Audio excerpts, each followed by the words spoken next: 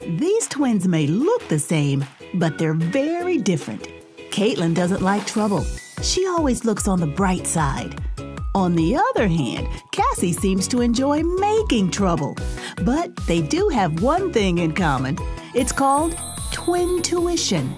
Cassie and Caitlyn have the ability to see things before they happen, which up until recently seemed harmless.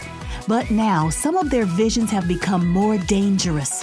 And if they don't step in to try and change the future, someone they love will get hurt.